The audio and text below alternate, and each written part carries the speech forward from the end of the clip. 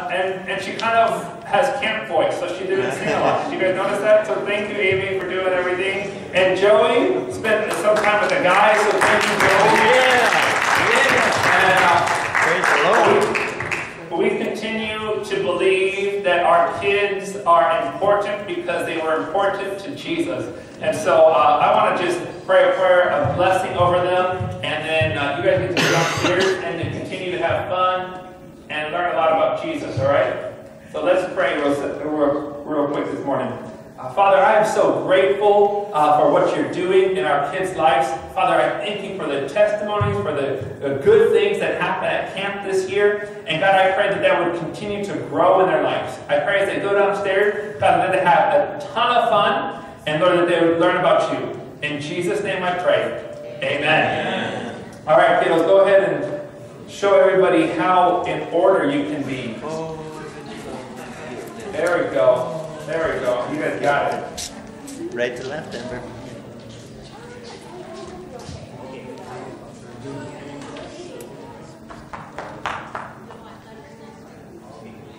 Well, I've been, uh, I've been excited uh, to continue our study through the Sermon on the Mount. I have 10 pages of notes this morning. I could have had more. I had to stop writing because I was like, wow, this is just so good. I encourage you. Can I encourage you with everything within me? Love the Word of God and study it. Eat it every day. It's nourishment to us. It's encouraging to us. It, it, it gives us faith. It gives us joy. It, it gives us life. It like feeds our very soul. So if you if you come in if you come in on Sunday morning or you just end it during the day and you're just like my, my soul it feels empty. I'm tired. I'm weary. Man, get in the Word. Take a moment. Take a little break. Say, all right, God, I just want to let me eat from your your Word. It's it's good. It's described like, like honey. It's described sweet. It's described like bread. It's nourishing. It's, it's, it's sustaining. And so I want to encourage you, study the Word. They got so many Bible study programs online. They got so many apps you can get. I mean, get in the Word of God. Like, we're without excuse. Living in America, we've got it. Speak a different language, they got it. Like, it's, it's it's amazing. It's amazing. Um, so we're going to be continuing in Matthew chapter 5. Uh, somebody asked me recently, are we still in Matthew chapter 5? I said, yes, there's still good stuff. And we're going to continue. We're going to move on a little bit. So we're going from Matthew 5. We were the last few weeks talking about Matthew 5, 17 through 20. And when we we're talking about that, we we're talking about righteousness. I like righteousness, righteousness. I told you guys, I confessed it. I like rules. They make me feel safe. They make me feel comforted. But Jesus, when he showed up on the scene, he said, I have not come to get rid of the rules. I've come to fulfill the rules. And then he challenges us at the very end of that passage. He says that our righteousness should exceed that of the scribes and the Pharisees. And so what we're going to look at, um, it's not going to be the next couple weeks. It's going to be the next while. And we're going to look at six different units, six different ways that Jesus described how our uh, how our righteousness can exceed that of the scribes and the Pharisees. and, he, and he says it this way. This is the way that, that Jesus introduces these topics over the next couple weeks. He says, You have heard that it was said this way, and he'll bring up a law or bring up a command. And then he says, But I say to you this.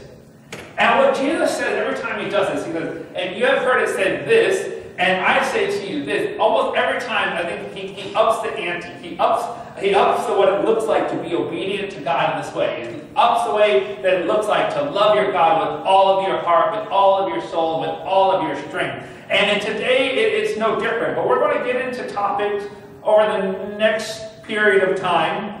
And we're going to get in today, we're going to be talking about emotions over the next couple weeks. And we're going to talk about lust and sex. We're going to talk about divorce and marriage. We're going to talk about promises and oaths. We're going to talk about retaliation. We're going to be talking about how we relate to enemies. And all these subjects are going to be covered as we look through the rest of Matthew chapter 5. So there's a whole lot more to get into. So today, we're going to be focusing on Matthew chapter 5, and we're just going to cover two verses. And like I said, two verses, but I got 10 pages of notes. Uh, it's, it, it is packed full. Jesus' words are, uh, they're packed full of meaning. They're packed, packed full of application. And so I want to encourage you again, read the word. it, it is, you, it can't get old. I mean, this week, uh, I, was, I met with Poppy with Kurt on Friday. And he, re, he introduced, or maybe reintroduced a verse to me that's been in the Bible the whole time, and I had just not, not seen it before or not remembered it before. But uh, it's the Word of God is good. It's always new. It's always life giving. So let's look today, Matthew chapter 5. We're going to look at verse 21 and 22 this morning. It says this Matthew 5 21 and 22. You have heard it was said to those of old, You shall not murder, and whoever murders will be liable to judgment. But I say to you that everyone who is angry with a brother will be liable to judgment. Whoever insults his brother will be liable to counsel. And whoever says, You fool, will be liable to hell of fire. Man, just reading that again, I'm like, oh my. Say, did you murder anybody this week? I have to be careful with this. We're going to work, we're going to work through this. So I believe that as we look at this, this passage of Scripture, it, it reveals two aspects of God's character that should bring us joy and peace, while also warning us who follow Jesus as King. And so the first thing that I see very clearly again in this passage of Scripture that God is life. Amen. God loves life. Everything he does, everything he says, all of it, it promotes life. It's life giving. We're encouraged. We are. I, last week I, I, mentioned, or it was two weeks ago. We had a missionary last week. Two weeks ago, I had mentioned this at the beginning of my sermon that God's words to us they're good. They bring life even when they bring conviction. So even when they're hard to hear, even when they point out inside of us what, what's wrong in our life, it's still good. It's still life. It's for the purpose of bringing us life. It's for the purpose of bringing us righteousness, building us up into Christ. And so we should learn as believers, as followers of Jesus, that even the hard words from Jesus, it's good. It's meant to produce life in us. From the moment God breathed breath of life in Genesis chapter 7, uh, sorry, chapter 2, verse 7, till all for all of eternity, his will is to promote life. The Ten Commandments and all of the laws, they were written to protect and uphold life. They were the way they were written, man, we're going to get into a couple of them. They're written to promote life. It's, it's to promote uh, safety. It, it's to protect the weak. It's to hold up the standard of life. To give us, like Jesus says in the New Testament, to give us life and to give it more abundantly. So Jesus promotes this truth when he speaks Matthew 5, verse 21, again, he repeats this command. And again, he's not abolishing it, he's not getting rid of it, he's upholding it. For him to say in Matthew chapter 5, verse 21, You have heard it was said to those of old, You shall not murder, and whoever murders will be liable to judgment. Jesus was repeating it not to abolish it, but to uphold it. Murder is not of God. God is a God of life.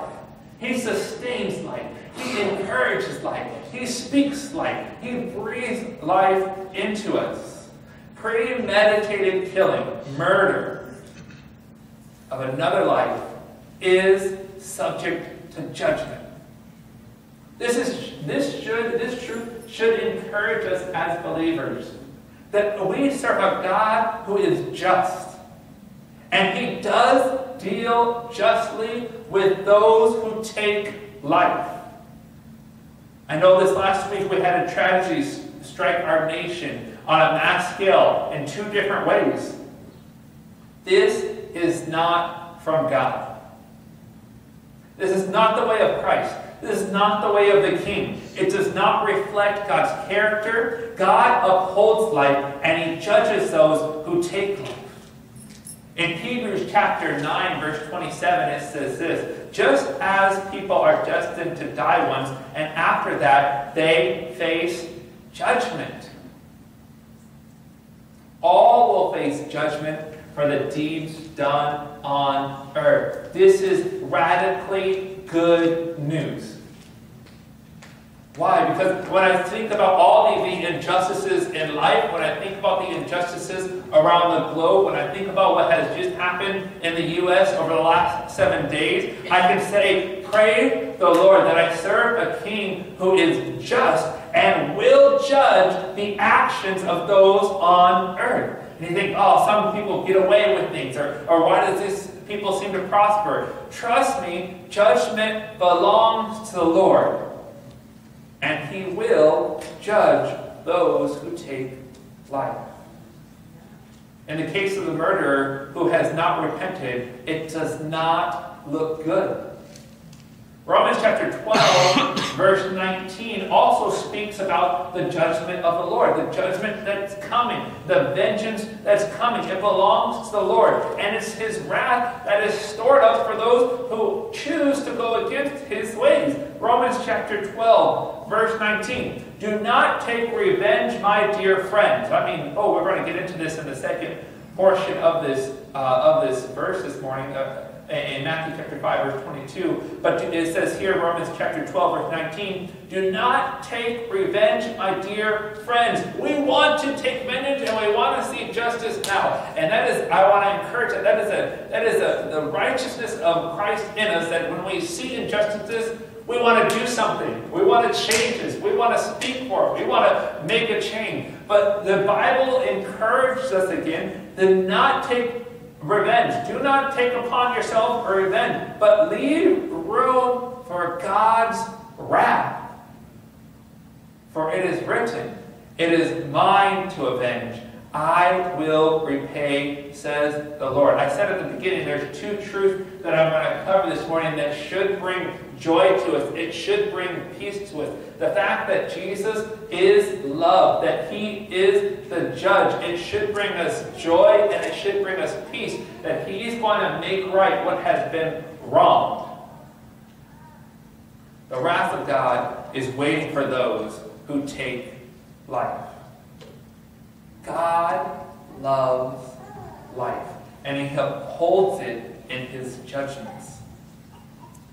God is a God of justice, and sin does not go unnoticed. Murder does not go unnoticed. And this brings joy to my heart, brings peace to my heart, to know that God is in control and He is the one that takes these situations upon himself to set right.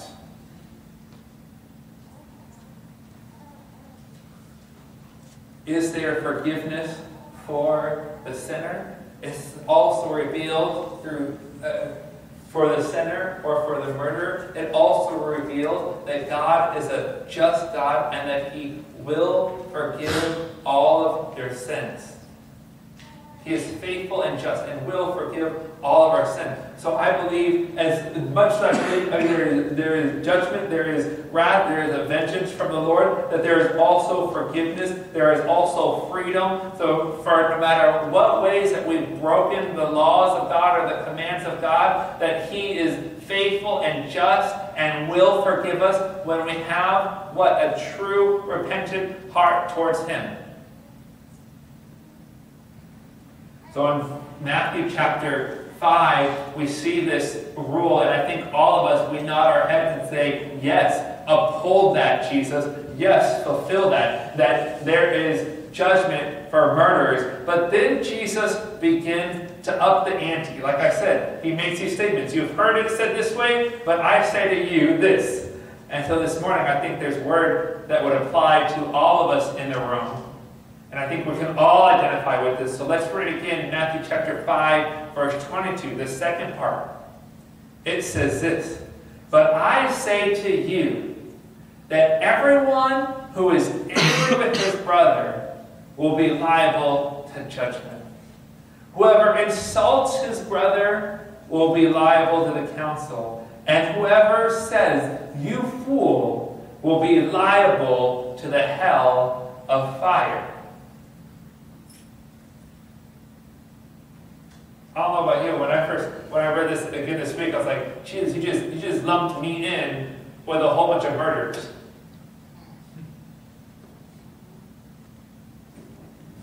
Anybody who gets angry with a brother, anybody who, who insults his brother, anybody who says, you fool, will be liable to the hell of fire. And all of a sudden, there before the cross is equal playing field. Sometimes we feel really good about ourselves because we spend a little time with the Lord. We love His presence. Hey, I, have read my Bible. Oh, I've, I've done some good things. And, and, oh, I just told a little bit of lie. Or, oh, I, you know, I just did my anger get to me a little bit here or there. No, Jesus ups the ante. He says, hey, it's a level playing field. Whether you're a murderer or you get angry with your brother, you're on the same playing field. There's judgment for both.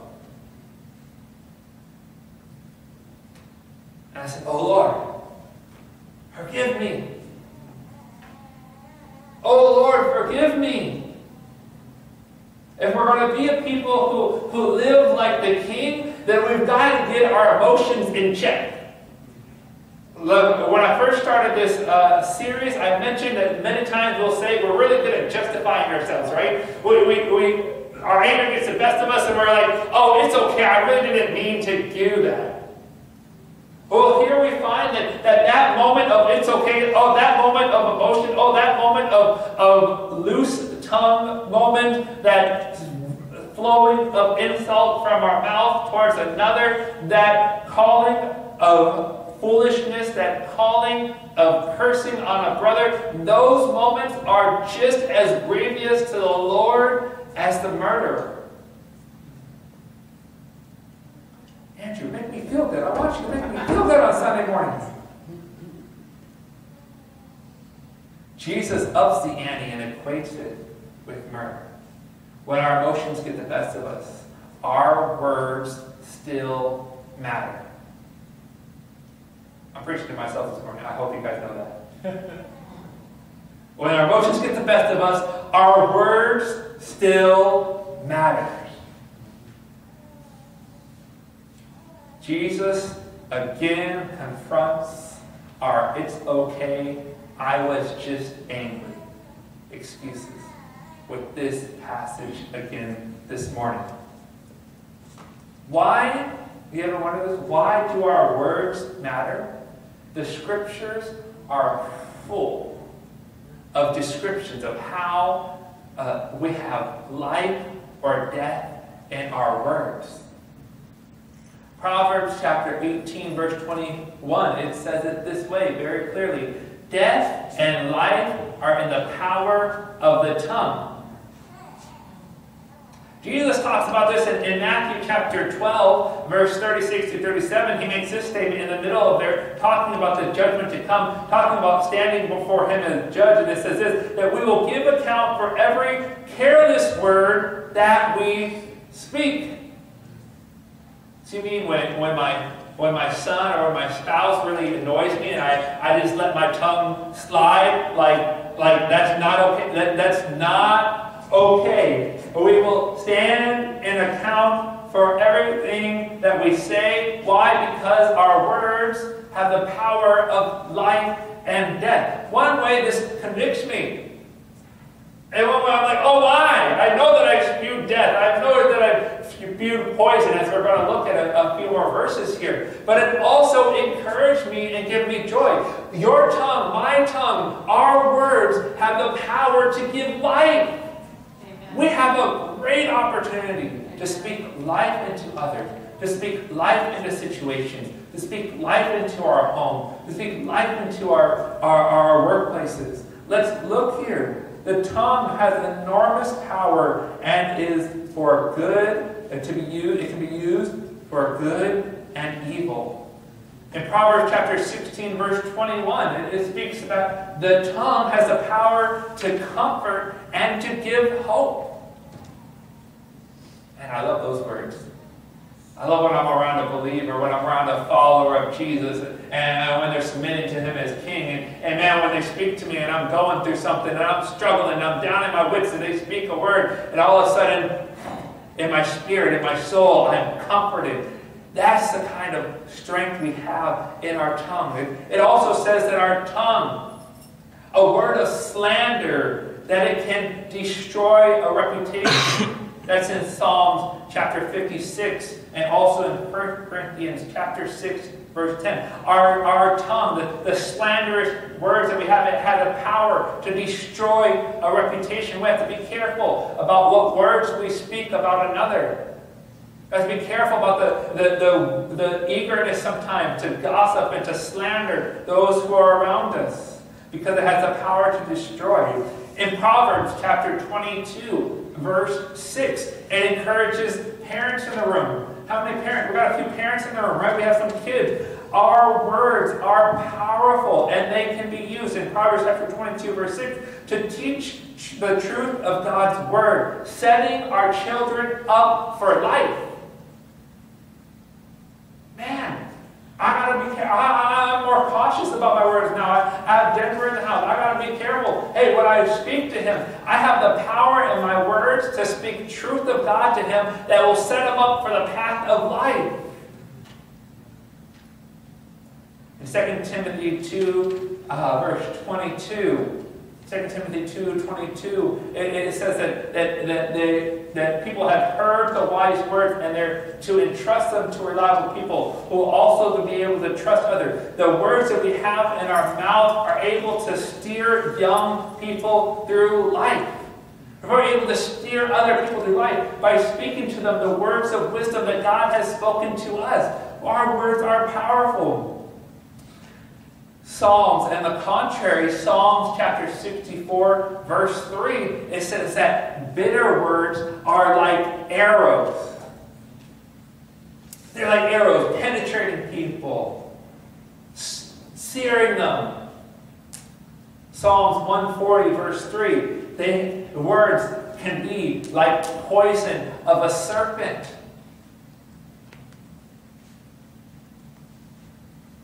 James 3 6 says, tongue can be like a fire. It can set a whole forest on blaze. It can cause great destruction.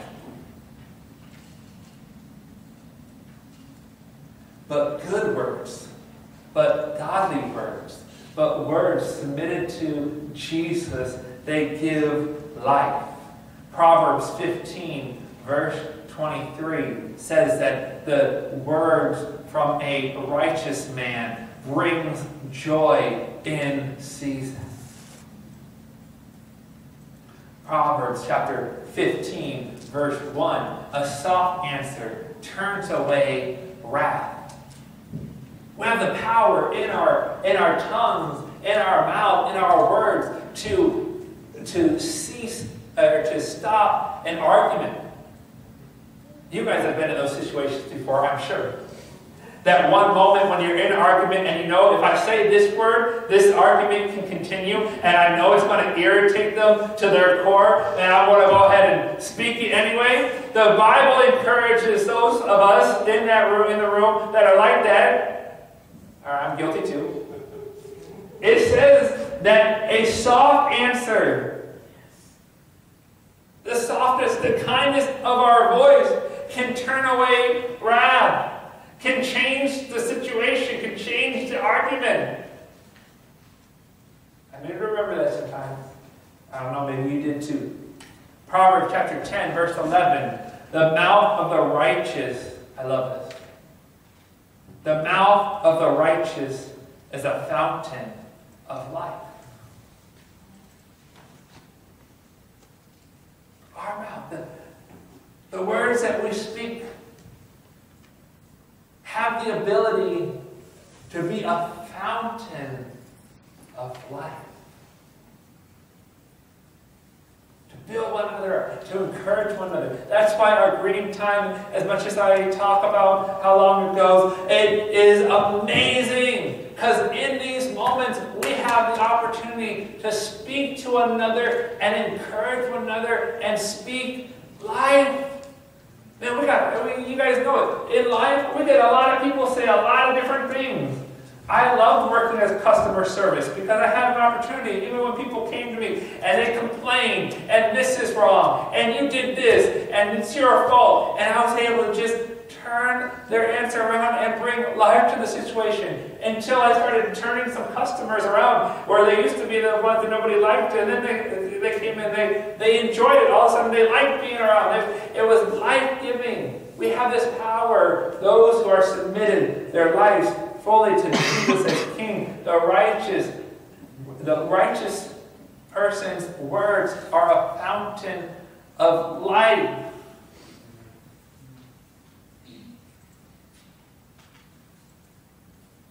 The warning to us found in this Matthew chapter 5, verse 22 passage. A warning to us who follow Jesus, uh, who follow Jesus but allow our emotions to get the best of our words.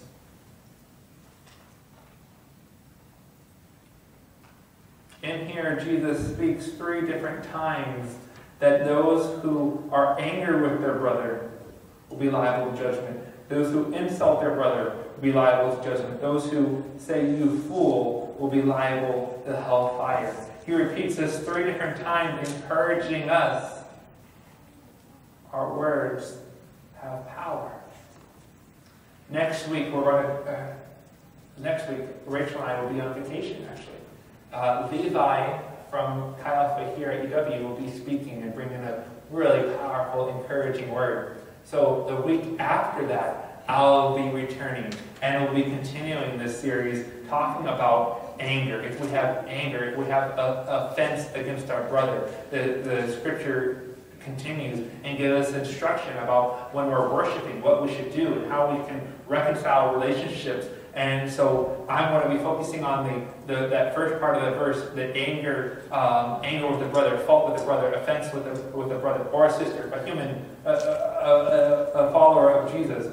But this morning, I'm going to dive in a little bit more on verse 22, the last portion. It says, Whoever says, You fool, will be liable to the hell of fire.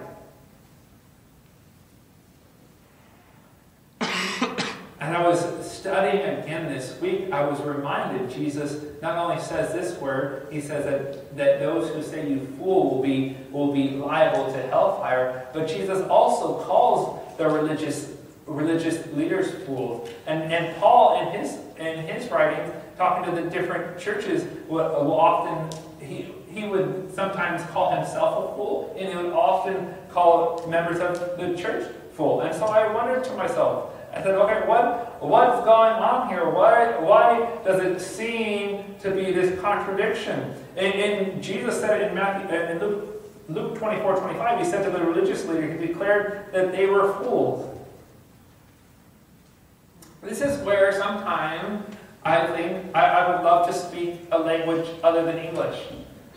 Uh, when uh, Rachel laughed at me because she knows I have a hard time learning other languages. Um, but uh, but when I when I look at even even my my awesome neighbor from Venezuela, they're speaking Spanish and they have like you know a, couple different ways to express love. They have they have a few different ways to express uh, their their feelings and their emotions. Uh, when I when I look and I study the Greek text, so so the New Testament was written in Greek. There's like more than one word that says this fool. There's more than one meaning when it's talking about fools. And so this is where I really think the English language, sometimes I'm like, oh, we're, we're limited to, to express the interpretation of Scripture. But there, there are two distinct, um, actually three distinct words that describe fool or foolish.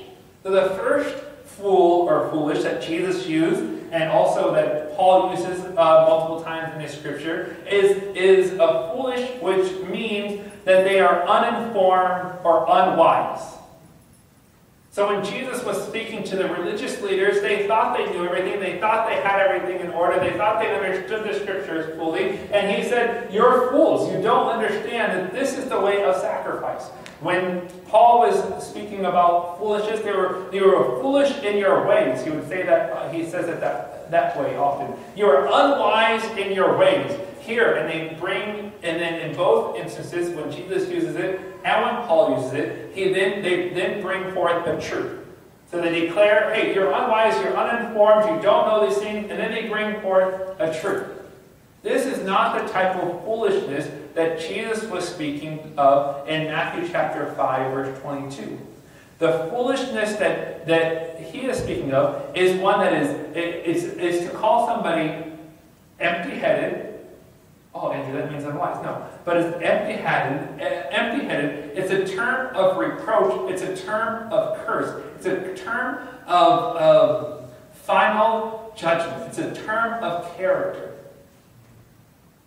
Foolishness, a term that was used as a reproach. In the in the Greek language, I could I could use the word raka, but nobody would care what that means.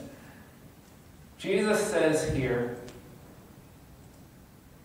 those who say you fool will be liable to the hell of fire. And to interpret that this morning, to make that clear, those who say you are cursed will be held to held liable of the fire of judgment. It's describing when your anger gets the best of you and you declare someone a fool, making a judgment on their character and cursing their life. I could use a whole bunch of language up here, but that's totally uncommon for me to use.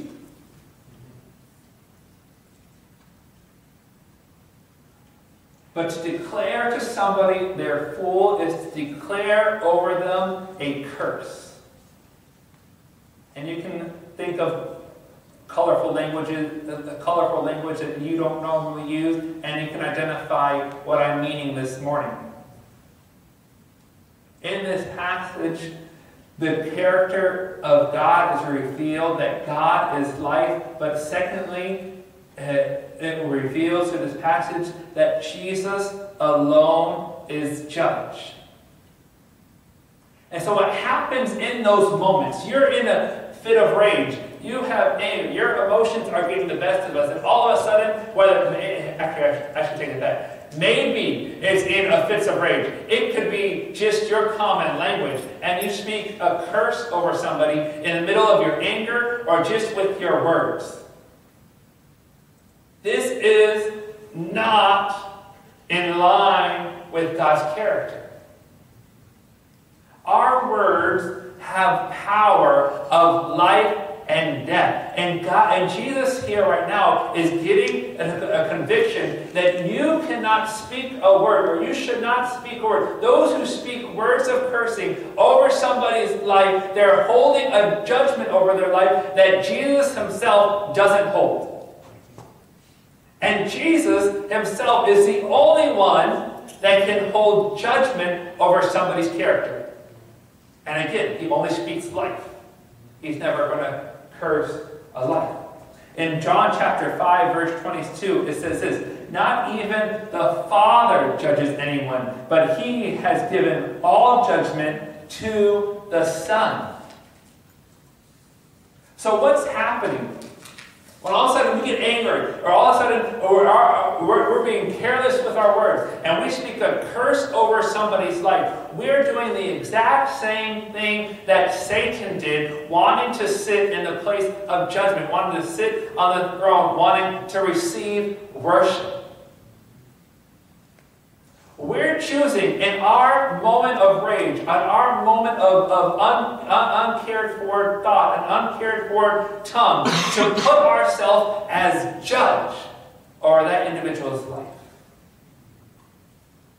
Do not declare another you fool, or you will be liable to hell. Do not do not um, declare over another raka. It's a, it was a vul, vulgar form of curse over somebody's life. Do not do it because why? Because it is not your place to be a judge. To do so is usurping yourself and your judgment and your words above the words of God.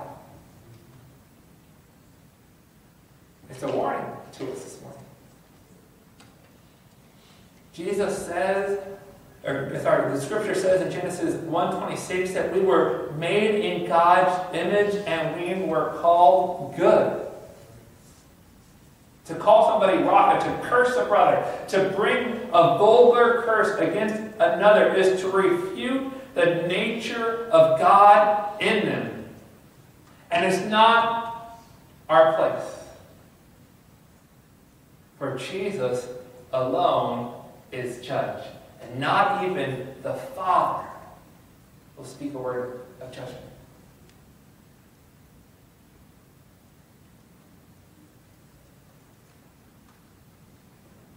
Jesus has this ability throughout all of the Sermon of the Mount to up the ante, to put us sometime like today on even playing playing ground as the murderer. Our words have power. And this morning, it's a reminder to us, it's an encouragement to us to allow our words to be fully submitted to Jesus. That even in the, in the following sermons, our emotions, the anger we have, the, the, the guilt we have towards another, person. We cannot put ourselves in the place of judgment over another. That, that's not our place. And when we do, we're liable to the flames of hell. this morning we have to wrestle with this question wow, have my words produced death, have produced a curse in another, or have my words been used for life and giving life to another? And if we find ourselves in the place this morning where we say, yeah, my words, I have spoken in my rage and in my emotion, I've allowed my words to be careless, and I have cursed my children, I've cursed my neighbors, maybe you cursed your, your coworkers because you've made a judgment over them that God hasn't made. This morning, the opportunity for us is to repent and say, Oh Lord, forgive me. And to release, release the other from the curse. Our words have power.